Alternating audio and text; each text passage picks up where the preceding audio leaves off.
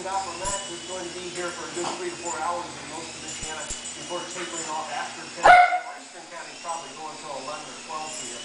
But uh, no question it is going to rain. So here's my first word on the weather. Rain, maybe a rumble of thunder and that. I've never seen any thunderstorms or anything. Low temperature later tonight, 36. Tomorrow, not a bad day, although a little breeze, partly sunny, high is 49. All the rest of my forecast, including the seven days.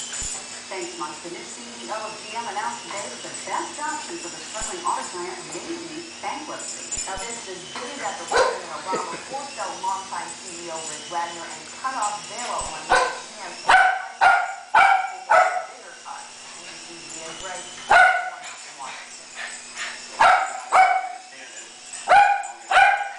General Motors new CEO Fritz conference in Detroit warned of bankruptcy